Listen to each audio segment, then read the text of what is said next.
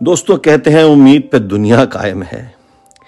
जैसे सांस लेने के लिए हवा की ज़रूरत होती है, ऐसे ही आशा और उम्मीद इंसान को ज़िंदा रखती है। और अगर आशा पूरी ना हो तो मन उदास हो जाता है, दिल बीमार हो जाता है। मगर जब लालसा पूरी होती है तो जैसे ज़िंदगी का दरख्त भर जाता है, दिल बाग बाग हो जाता है। मगर इस आशा और उम्मीद का दुनिया भी बहुत फ़ायदा उठाती है, गलत फ़ायदा उठाती है। लोग इस दुनिया में झूठी आशाएँ बांधते हैं, दूसरों को झूठे वादे करते हैं, सपने दिखाते हैं, झूठी दुनिया खड़ी कर देंगे और फिर अंत में बदल जाते हैं, मुकर जाते हैं, चेंज हो जाते हैं।